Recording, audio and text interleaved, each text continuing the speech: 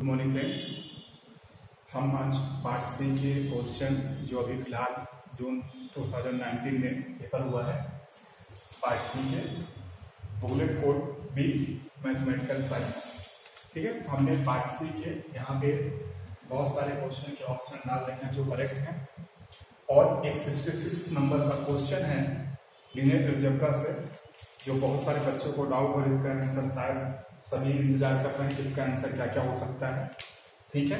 Multi selected question है part C का question है part C sixty six question number तो इन जितने भी हमने यहाँ पे क्वेश्चन लिखे रखे उनके सारे ऑप्शन जो दिया है, अगर आपको जो भी डाउट होता है, जो भी आपको प्रॉब्लम जाती हो, आप कमेंट बॉक्स में कमेंट कर सकते हैं। ठीक है? हम इसका आंसर और अच्छे तरीके से देख सकते हैं। अभी तो हमने जो दिया है, हमारे हिसाब से तो पूरा करेक्ट आंसर आप अगर थोड़ा सा भी आपको डाउट लगता है तो आप हमसे बोल सकते हैं। फिर आइए हम बात करते हैं क्वेश्चन नंबर 66 जो बहुत ही अच्छा क्वेश्चन है लीनियर जबरा का। और अब तक जितने भी क्वेश्चन लीनियर जबरा में आए हुए हैं, उन सारे क्वेश्चनों में से सबसे बेस्ट लीनियर जबरा का क्वेश्चन यही, जो पूरे कॉन्सेप्ट को समेटे हुए हैं। इसमें आप कॉन्सेप्ट की बात करेंगे तो diagonalizable matrices minimal polynomial and क्या नाम है कि आइगन वैल्यूज़ इसमें जो कोर लीनियर जबरा का जो टॉपिक है, जो कॉन्सेप्ट है, उस पे ऊपर ये बना हुआ है क्वेश्चन ठीक है तो चलिए इसको सॉल्व करने की कोशिश करते हैं कि इसका क्या क्या आंसर हो सकता है। मतलब ग्यारह क्वेश्चन मैंने जो है उसके आंसर लिख दिए हैं और ये बारहवा क्वेश्चन हो सकता है जो आपको करेक्ट आंसर दे दे। ठीक है? हमारे पास ये बोल के रखा है क्वेश्चन आप ध्यान से पढ़ेंगे। तो क्या बोल के रखा है कि M N R B the ring of the over real number system which of the following are true for every n greater than equal to 2 मतलब जो मैट्रिक्स के ऑर्डर वो क्या है? टू r से बराबर या बड़ी ऑर्डर होगा। ठीक है? तो एम एन आर है। N greater than equal to two पे लिखा एम थ्री आर मतलब थ्री ऑफ़ थ्री मैट्रिक्स के लिए फोर प्लस फोर के लिए सभी के लिए ट्रू होनी चाहिए। ठीक है? वो कंडीशन देके रखा है of the following are true for every n greater than equal to 2 her n greater than 2 के लिए ट्रू होनी चाहिए। तो पहला ऑप्शन देके रखा है there exist matrices A and B M N R such that A B minus B A बराबर क्या मिल जाए आपको आई एन तो पहला ऑप्शन ये बोलना चाह रहा है कि क्या ऐसी दो matrices A and B exist करेंगी, जिनका ए बी माइनस बी अगर करेंगे तो क्या बन जाए? आई एन बन जाए। तो अगर हम इसको ध्यान से दें तो हम क्या करेंगे? काउंटर एग्ज़ाम्पल के थ्रू या फिर क्या नाम है कि प्रॉपर्टी के थ्रू इसको करेक्ट करेंगे या आपका गलत हो सकता है, ठीक है? तो देखिए, ये क्या बोला? देयर एग्जिस्ट मैट्रिसेस क्या ऐसे मैट्रिक्स एंड बी एग्जिस्ट करेगी? Such that A B minus B बराबर क्या हो जाए? आई एन हो जाए। तो देखिए, हम इसमें से क्या करेंगे? हम ट्रेस की प्रॉपर्टी लगा के इसको ट्रू या फॉल्स करने की कोशिश करते हैं। जैसे अगर ए बी माइनस अगर हम मान भी लेते हैं कि ऐसी दो मैट्रिक्स एग्जिस्ट करती है ए एंड बी ठीक है? Such that A B minus B A बराबर क्या है? आपका आई ठीक है आई एन है मतलब एन ऑर्डर जितनी मैट्रिक्स रहेंगे, उतने ऑर्डर आई एन आपका मिलता चला जाएगा। अगर दोनों, ये अगर एंड बराबर है, ठीक है, अगर हम ट्रेस लगा दें तो ये क्या हो जाएगा? A B minus B A बराबर ट्रेस ऑफ़ ये भी बराबर होगा ट्रेस लगाने पर भी। अगर दो मैट्रिक्स आपस बराबर है उनका ट्रेस भी आपस में कैसा हो जाएगा? बराबर हो जाएगा। अब ट्रेस की प्रॉपर्टी से ट्रेस की प्रॉपर्टी क्या होती है? अगर trace of A plus B है तो हम इसको क्या लिख सकते हैं? Trace of A plus trace of B इस कॉन्सेप्ट के ज़रिए हम इसको क्या लिख सकते हैं? Trace of A B minus trace of B A ठीक है? इसको तो क्या हो जाएगा? ट्रेस ऑफ़ आई एन ठीक विदाउट अब ट्रेस ऑफ़ ए बी अब एक और कॉन्सेप्ट आएगा ट्रेस का। क्या आएगा? कि ट्रेस ऑफ़ हम ए बी निकालें या ट्रेस ऑफ़ हम बी ए निकालें। दोनों कैसे होते हैं? बराबर। अगर ये दोनों बराबर होंगे तो यहाँ पे ट्रेस क्या हो जाएगा? ट्रेस ऑफ़ ए बी कितना हो जाएगा? जो भी है, इधर क्या बन जाएगा? ज़ीरो ठीक है? और इधर क्या ट्रेस कितना आ जाएगा? इसका आई एन का जितने ऑर्डर की मैट्रिक्स होगी उतनी आ जाएगी। मतलब हम बोल सकते हैं कि ये दोनों आपस में बराबर नहीं हो सकते। ठीक है? Trace of A B minus trace of B है अगर इनकी क्या है? Trace of A B trace of B A के बराबर होता है मतलब राइट लेफ़्ट हैंड साइड क्या हो जाएगा? ज़ीरो और यहाँ पे ट्रेस ऑफ़ आई क्या आ जाएगा। कुछ नॉन ज़ीरो वैल्यूज़ आएगी। आई पे डिपेंड करेगा कितने के मैट्रिक्स रहते हैं। अगर टू ऑर्डर के मैट्रिक्स रहते हैं तो टू आ जाएगा। तीन ऑर्डर के मैट्रिक्स तो तीन आ जाएगा। इधर क्या आता रहेगा? ज़ीरो आता रहेगा। ठीक है? जो कभी भी पॉसिबल नहीं है। इसलिए हमारा फ़र्स्ट ऑप्शन क्या हो गया? गलत हो गया। क्यों? मतलब ऐसी ए बी नहीं मिल सकती, जिसका क्या नाम है कि A B minus B A करें तो क्या मिल जाए? आई एन तो हमारा फ़र्स्ट ऑप्शन कैसा हो गया? गलत हो गया। चलिए अब दूसरे ऑप्शन की बात करते हैं। तो ये क्या बोल रहा है? If A B belongs to M N ठीक है? ए बी कहा बिलोंग कर रहा है? एम एन में बिलोंग कर रहा है। एंड ए बी बराबर क्या है? B A then A is diagonalizable over R and only if B is diagonalizable over R ये कहना क्या चाह रहा है? कि अगर ए बी बराबर क्या है? बी ए है। ठीक है? तो क्या बोलना चाह रहा तब। अगर ए डायगोनाइजेबल तभी होगा जब बी भी डायगोनाइजेबल हो। ठीक है? ये बोलना चाह इफ़ एंड ओनली या बी डायगोनाइजेबल होगा तो क्या हो जाएगा ए डायगोनाइजेबल हो ठीक है, ये बोलना चाह रहा है। लेकिन कैसे होनी चाहिए? सबसे पहले क्या होनी चाहिए? ए बी बराबर क्या हो? बी ए हो। तो चलिए इसका हमें काउंटर एग्जांपल आपको दिखा देते हैं। तो काउंटर एग्ज़ाम्पल तो हम क्या करेंगे? इसको गलत साबित कर देंगे। जैसे एग्ज़ाम्पल के लिए। हमने ए बराबर क्या ले लिया? आइडेंटिटी मैट्रिक्स ठीक है? बी बराबर हमने क्या ले लिया? टू ऑर्डर के लिए बोल ग्रेटर देन मतलब एक के लिए अगर फॉल्स होगा सबके लिए फॉल्स हो जाएगा अब ए बी निकालिए आप ए बी निकालेंगे तो क्या आ जाएगा? किसी भी आइडेंटिटी सब मैट्रिक्स में मल्टीप्लाई करेंगे तो आपको वही मैट्रिक्स मिलेगी। ठीक है? एंड बी ए निकालेंगे तो क्या हो जाएगा? बी के तब बी ए मिलेगी। ठीक है? मतलब यहाँ से क्या हो गया कि ए बी बराबर आपको बी ए मिल गए ठीक है? लेकिन हमने क्या लेके रखा हुआ है? जो ए है वो डायगोनाइजेबल है ओवर आर का। और बी हमने जो लिया है निपोटेंट मैट्रिक्स है, और हम जानते हैं कि निपोटेंट मैट्रिक्स कैसे होती है? डायगोनाइजेबल नहीं होती है। ठीक है? और ए बी बराबर क्या आ गया है? बी ए तो ये क्या बोलना चाह रहा था कि अगर ए बी बराबर बी ए है then A is diagonalizable over R if and if B is diagonalizable over R तो हमने ये साबित कर दिया कि ए बी बराबर बी ए होने के बावजूद अगर ए डायगोनाइजेबल है तो ज़रूरी नहीं कि बी भी आपका डायगोनाइजेबल हो। और ये क्या बोलना चाह रहा है कि ए डायगोनाइजेबल तभी हो सकता है जब जब क्या हो? बी डायगोनाइजेबल हो जाए। यहाँ पे आपका बी डायगोनाइजेबल नहीं हुआ। और जबकि ए बी बराबर क्या है? बी ए है। तो आपका सेकंड ऑप्शन भी कैसा हो गया? गलत हो गया। ठीक है? तो फ़र्स्ट ऑप्शन आपका गलत हो चुका है सेकंड ऑप्शन आपका गलत हो चुका है। थर्ड ऑप्शन दे के रखा है if A B belongs to M N R then A B and B A have same minimal polynomial मतलब अगर आपका ए बी और बी ए है तो क्या दोनों सेम मिनिमल पॉलिनोमियल रखेंगे? इसको निकालना है इसके लिए भी हम क्या करेंगे? एक काउंटर एग्ज़ाम्पल देने की कोशिश करते हैं जिससे आपको प्लेलिस्ट में आ जाएगा कि A B and B A दोनों सेम मिनिमम पोलिनोमियल नहीं रख पा रहे मतलब तीसरा ऑप्शन भी आपका गलत होने जा रहा है। जैसे एग्जांपल के लिए ए हमने ले लिया ज़ीरो वन ज़ीरो बी हमने ले लिया क्या? वन ज़ीरो ज़ीरो ठीक है? हमने दो मैट्राइसेस ली हुई इन दोनों का प्रोडक्ट कीजिए ए बी ठीक है? ए बी करेंगे तो क्या मिलेगा? Zero zero zero and zero ठीक है? इसका मल्टीप्लीकेशन आप इससे करेंगे, इसका मल्टीप्लीकेशन इससे करेंगे। ज़ीरो हो गया, यहाँ भी ज़ीरो हो गया, इसका ज़ीरो अब बी ए कीजिए। ठीक है? तो बी ए करेंगे तो क्या मिलेगा? ज़ीरो मिल जाएगा फ़र्स्ट ठीक है? फिर ये सेकंड करेंगे तो यहाँ वन आ जाएगा, ये ज़ीरो हो गया। ठीक है? A B M B M निकाल दिया। अब ए बी की जो मिनिमल पॉलिनोमियल है minimal polynomial of A B वो क्या आएगा? तो ले लीजिए यहाँ पे क्या आ जाएगा? एक्स ठीक है? मिनिमल पॉलिनोमियल क्या होता है? जो मैट्रिक्स का एनिलेट करते मतलब क्या बनाते हैं? ज़ीरो बनाते हैं। ठीक है? ये क्या हो जाएगा? एक्स आ जाएगा। एक ऐसा पॉलिनोमियल है, जिसको ए बराबर कर दो ज़ीरो आ जाएगा वो भी ज़ीरो है? ठीक है, इसको पुट करेंगे तो ही आ जाएगा ज़ीरो और मिनिमल पॉलिनोमियल आप बी ए निकालेंगे तो क्या आ जाएगा यहाँ पे? मिनिमल पॉलिनोमियल निकालने के लिए क्या है? अभी हम करेक्टरिस्टिक पॉलिनोमियल दोनों को देखें तो दोनों का बराबर है करेक्टरिस्टिक पॉलिनोमियल ठीक है एक्स स्क्वायर अब मिनिमल पॉलिनोमियल एम एक्स हम निकालेंगे, यहाँ पे आपका मिनिमल पॉलिनोमियल ए बी का आ चुका है एक्स और यहाँ मिनिमल पॉलिनोमियल बी ए का क्या आने वाला है? निपोटेंट मैट्रिक्स अब ये निपोटेंट मैट्रिक्स हो तो जितना इसका इंडेक्स होगा, उतना इसके एक्स की पावर चढ़ता है। ठीक है? तो इसका इंडेक्स कितना है? एम मतलब कितने पावर करने पर ये ज़ीरो बन जाएगा नल मैट्रिक्स बन जाएगा। दो तो पावर करने पर ज़ीरो बन जाएगी। इसका मिनिमम पोलिनोमियल भी क्या होगा? एक्स स्क्वायर होगा। तो ये क्या हो गया? इसका मिनिमम पोलिनोमियल एक्स स्क्वायर आ रहा है और इसका मिनिमम पोलिनोमियल एक्स आ रहा है। इसका मतलब क्या हो गया? कि minimal polynomial of A B ठीक है? Not equal to minimal polynomial of B A हमारा थर्ड ऑप्शन भी कैसा हो गया, गलत हो गया। तो सिंपली सिंपल क्वेश्चन हो गया इसका आंसर क्या हो जाएगा? फोर्थ ऑप्शन और ये ट्रू भी है कि A B and B A same eigenvalue ठीक है?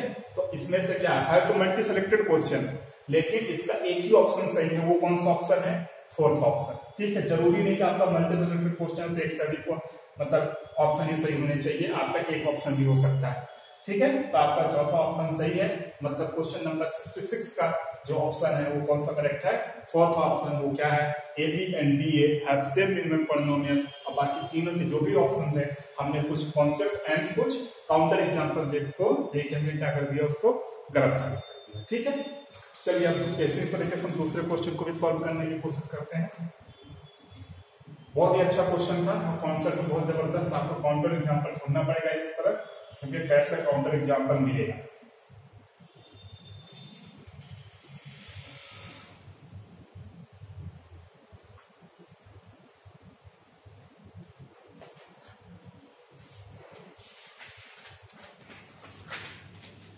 ये सारे क्वेश्चन पार्ट सीखे हैं।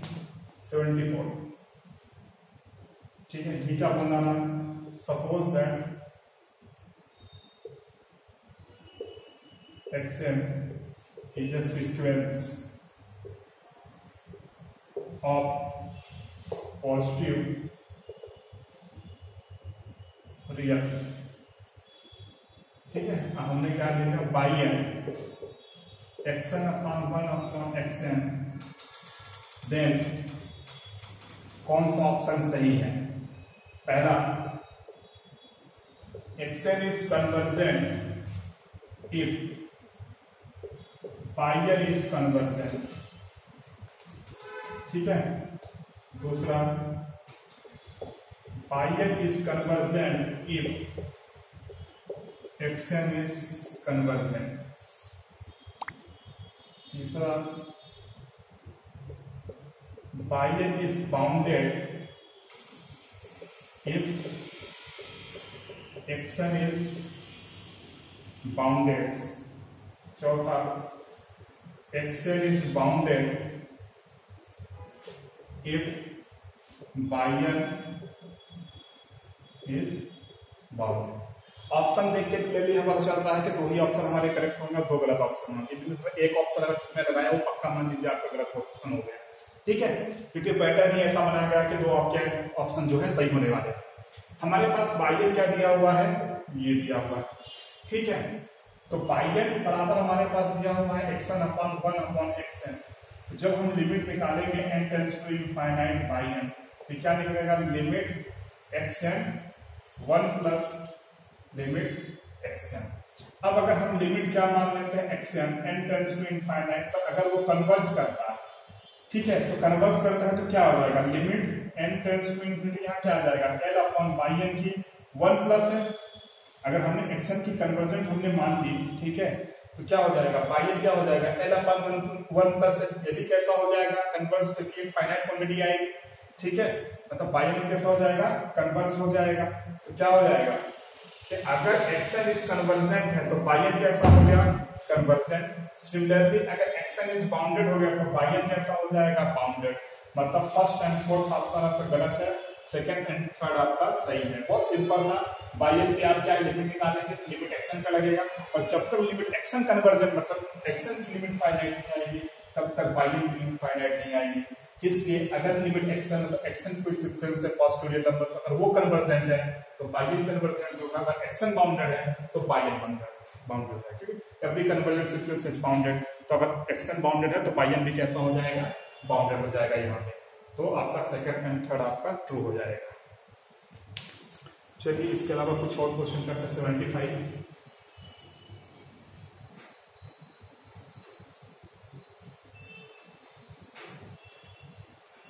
ठीक है, इस बार पार्ट सी के बहुत सारे क्वेश्चन सही थे कुल मिला के पूरा जून 2019 एकदम बकवास पेपर बना दिया था। ठीक है? 64 हो गया 65 देखिए F X X sine one upon X जब एक्स ओपन ज़ीरो को बिलोंग कर रहा है एंड ज़ीरो जब एक्स बराबर क्या है? ज़ीरो एंड जी फ़ंक्शन को डिफाइन कर दिया कैसे? M time F X X time F X then हमारे पास कौन सा ऑप्शन सही है? ठीक है? F is a bounded variation. दूसरा F is not bounded variation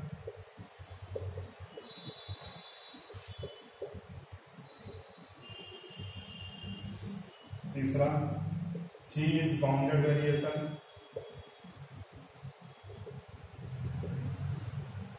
and चौथा G is not bounded variation ठीक है? इसमें से भी क्या है? आपका क्लियरली दो ऑप्शन करेक्ट होने वाले और दो ऑप्शन आपके गलत होने वाले हैं। कैसे? पैटर्न ही ऐसा बना हुआ कि एफ़ अगर बाउंडेड वेरिएशन है तो जी आपका बाउंडेड वेरिएशन दोनों ऑप्शन देके रखा है। F not bounded variation and G not bounded variation तो क्लियरली अगर किसी ने यहाँ भी एक अगर ऑप्शन टिक करके रखा है कोई तो उसका भी कैसा हो जाएगा क्वेश्चन गलत हो जाएगा। अब इस क्वेश्चन का ना सोल्यूशन है पार्ट सी का। आप इमेजिन नहीं करोगे, जैसे सेवेंटी फोर नंबर क्वेश्चन के वो दो सेकंड का क्वेश्चन सेवेंटी फाइव भी आपका क्या नाम है कि एक सेकंड क्वेश्चन है। बस आपको एक फार्मूला लिखना है। फार्मूला क्या लिखना है? कि अगर कोई फ़ंक्शन एफ़ एक्स इस टाइप का है एक्स के power alpha sine one upon X के पावर बीटा एक्स क्या है जो भी हो यहाँ पे ठीक है नॉन ज़ीरो होना चाहिए। And X not equal to zero पर एक्स इक्वल टू ज़ीरो पर क्या हो गया? ज़ीरो ठीक है? X belongs to open zero course ठीक है, ये आप तो ये बाउंडेड वेरिएशन तभी होगा जब अल्फ़ा क्या हो? बीटा से स्ट्रिक्टली बड़ा हो मतलब एक्स स्क्वायर हो एक्स बीटा का मतलब वन हो, ठीक है? तो अब इससे आप कंपेयर बस कर लीजिए। तो यहाँ पे अल्फ़ा की वैल्यू वन आएगी एंड बीटा की वैल्यू भी वन आ रही है। मतलब ये ग्रेटर देन इक्वल टू है स्ट्रिक्टली ग्रेटर देन नहीं है। इसलिए एफ़ जो फ़ंक्शन हमारा था वो कैसा था? बाउंडेड नहीं था। मतलब ये सही है F is not a bounded फिर दिया है G is a bounded variation तो जी नया फ़ंक्शन बनाया है। कैसे बनाया है? उस फ़ंक्शन में हम x का मल्टीप्लाई करते हैं। तो g फ़ंक्शन जो बनेगा वो कैसा बनेगा? x मल्टीप्लाई करते हैं। हमारे पास यहाँ पे x एक ही था मल्टीप्लाई हो जाएगा तो क्या हो जाएगा? एक्स स्क्वायर साइन एक्स यही रहेगा। और यहाँ पे ज़ीरो है मल्टीप्लाई करेंगे तो वही आएगा, x बराबर ज़ीरो और x belongs to zero one ठीक है? ये आ रहा है। ठीक है? इसको अगर कोई दिक्कत हो तो हम यहाँ पे लिख देते हैं अगर समझ में नहीं आ रहा होगा। एफ़ एक्स एक्स के पावर अल्फ़ा साइन एक्स के power beta X not equal to zero X equal to zero पर ज़ीरो ये तभी बाउंडेड वेरिएशन होगा जब अल्फ़ा क्या हो? बीटा से स्ट्रिक्टली बड़ी हो। आप कंपेयर करके निकालेंगे अल्फ़ा बराबर वन बीटा बराबर वन ये ग्रेटर देन इक्वल टू है। स्ट्रिक्टली नहीं है, इसलिए F is not bounded variation and G कोई दूसरा फ़ंक्शन तैयार है तो ये क्या हो जाएगा? X multiply X times of X तो यहाँ पे मल्टीप्लाई करेंगे तो क्या हो जाएगा? X square sine one by X जब X not equal to zero और एक्स बराबर ज़ीरो पर यहाँ पे ये, आप ये लें आप ये लीजिए, बात देखिए ठीक है? और ज़ीरो तो जी एक्स क्या बन गया? एक्स स्क्वायर तो यहाँ से जब अल्फ़ा आप कंपेयर करेंगे तो अल्फ़ा वैल्यू टू आएगी और बीटा की वैल्यू वन आएगी। क्या हो गई फिफ्टी ग्रेटर देन मतलब जी कैसा हो गया? बाउंडेड वेरिएशन तो F is not bounded variation and G is a bounded variation तो सिर्फ़ ये फार्मूला था।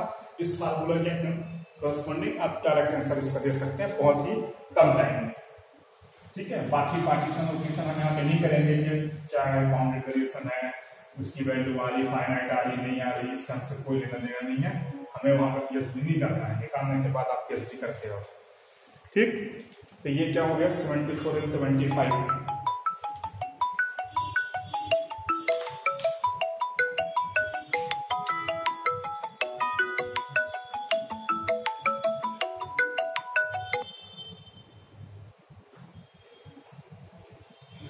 ठीक है? तो चलिए। एक क्वेश्चन और बहुत ही सरल सा क्वेश्चन दिया हुआ है। सेवेंटी सेवन नंबर एफ़ कोई आर से आर पे कैसा है? नॉन डिक्रीजिंग फ़ंक्शन ऐसा है? नॉन डिक्रीजिंग फ़ंक्शन है। तो बोल रहा है कि which of the following can be the set of discontinuity set of of F क्या जेड एन क्यू और आर माइनस लिखा हुआ है। ठीक है? देखिए, इस क्वेश्चन में है क्या? है तो कुछ नहीं। लेकिन क्या बोलना चाह रहा है कि है तो क्वेश्चन सॉल्व तो करना पड़ेगा। ठीक है? आर से आर में एक नॉन डिक्रीजिंग फ़ंक्शन डिफाइन किया हुआ है। और उसका कहना चाह रहा है कि अगर नॉन डिक्रीजिंग फ़ंक्शन है आर से आर में तो डिसकंटिन्यूस पॉइंट कितने हो सकते हैं उस फ़ंक्शन के? ठीक है तो डिसकंटिन्यूस पॉइंट हमें बताना था तो वो कितने हो सकते हैं किसी भी फ़ंक्शन के, अगर वो नॉन डिक्रीजिंग फ़ंक्शन है आर से आर में। इसका कॉन्सेप्ट मैं बता दू कि अगर कोई नॉन डिक्रीजिंग फ़ंक्शन या नॉन इंक्रीजिंग फ़ंक्शन डिफाइंड हो रहा है आर से आर में तो उसके डिसकंटिन्यूस जो पॉइंट है, वो एटमोस्ट कितने होते हैं? काउंटेबल मतलब काउंटेबल पॉइंट्स जो होंगे डिसकंटिन्यूस हो सकते हैं, कभी भी अनकाउंटेबल पॉइंट्स आपके डिसकंटिन्यूटी नहीं होंगे। तो यहाँ पे सिर्फ़ किसका क्वेश्चन था? काउंटेबल और अनकाउंटेबल का। आपको पहचानना था कि काउंटेबल कौन है? अनकाउंटेबल कौन है। तो जितने काउंटेबल सेट होंगे, वो हमारे क्या हो जाएगा? सेट ऑफ़ डिसकंटिन्यूटी ठीक है? और अनकाउंटेबल अगर सेट हो तो सेट ऑफ़ डिसकंटिन्यूटी किसी भी फ़ंक्शन का नहीं हो सकता अगर नॉन डिफरेंशियल फ़ंक्शन दिया हुआ है। तो कौन कौन सा काउंटेबल आपका था? तो काउंटेबल आपका था जेड आपका काउंटेबल है एन आपका काउंटेबल है क्यू आपका काउंटेबल है आर माइनस क्यू आपका अनकाउंटेबल हमारे जब काउंटेबल के जो कॉन्सेप्ट है, उसकी मदद से हम इसको क्वेश्चन को सॉल्व कर दिए। तो ये क्या हो गया? इसके first second and third option true हो गए फोर्थ ऑप्शन डिस्करेक्ट हो गए। इसी प्रकार पार्ट सी में आप इमेजिन कीजिए कि आपके 20 क्वेश्चन हैं। 20 क्वेश्चन करने हैं, ठीक है पार्ट सी में। और 12 से 13 क्वेश्चन में आपके सामने मतलब जो दिखाया मैंने क्वेश्चन में, उसके ऑप्शन लिख दिए, और ये बहुत सारे इस टाइप के क्वेश्चन मतलब बारह तेरह क्वेश्चन थे इजिली आप फाइंड कर सकते हैं, अगर किसी बंदे का कंसंट्रेशन बहुत अच्छा हो। ये जो टॉपिक है नेट के इतने टफ नहीं आते जितना हम लोग सोचते हैं, बहुत इजिली निकल सकते हैं, लेकिन कॉन्सेंट्रेशन होना चाहिए। सारे टॉपिक आप पढ़े होने चाहिए, बस इतना सा यहाँ पे रहता है। तो और भी बहुत सारे क्वेश्चन हैं, जिस भी क्वेश्चन को लेकर रियल एनालिसिस कॉम्प्लेक्स एनालिसिस और क्या नाम है अभी बहुत सारे क्वेश्चन आपको बताने रह गए जैसे अलजेब्रा के बहुत सारे क्वेश्चन हैं seventy nine eighty eighty one eighty two ये सारे क्वेश्चन बहुत सारे से क्वेश्चन थे, बहुत इजी क्वेश्चन थे। कुछ क्वेश्चन अभी मैट्राइसिस के भी हैं, वो भी कैसे हैं, बहुत इजी है। तो आपको जो भी डाउट हो, आप कमेंट बॉक्स में जिस क्वेश्चन का आपको आंसर चाहिए, आप कमेंट बॉक्स में कर सकते हैं। अगर मैं कोशिश करूँगा, आपको उसका आंसर दे दूँ। Thank you very much